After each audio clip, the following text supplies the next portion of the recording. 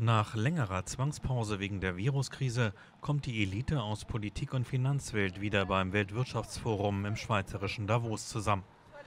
Das traditionell für Januar terminierte Jahrestreffen war wegen der Corona-Pandemie auf Mai verschoben worden. Fast 2500 Teilnehmer aus Politik, Wirtschaft, Medien und Kultur wurden zur Konferenz in Graubünden eingeladen wegen des Ukraine-Krieges aber keine Spitzenvertreter aus Russland. Mit von der Partie ist dieses Jahr unter anderem Bundeskanzler Olaf Scholz, der am Donnerstag seinen Redeauftritt hat. Auch Bundeswirtschaftsminister Robert Habeck ist vor Ort. Im Ringen um ein Ölembargo der EU gegen Russland warnte er am Montag Ungarn vor einer weiteren Blockade. Wir müssen sehr vorsichtig sein, dass wir nicht die gleichen Regeln für alle anwenden und die schwierige Situation, in der sich einige Staaten befinden, nicht sehen.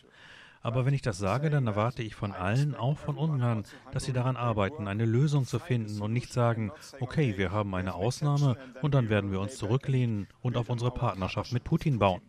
Wenn ich das sage, dann kann ich mir vorstellen, dass wir zum Beispiel für Ungarn und vielleicht auch für einige andere Länder besondere Ausnahmen haben, die aber zu einer gemeinsamen Antwort führen müssen.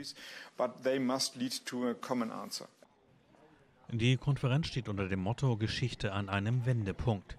Neben dem kriegerischen Konflikt in Osteuropa stehen auch Themen wie die Wirtschaftserholung nach der Corona-Pandemie und Klimaschutz auf der Agenda des Treffens in der Schweiz.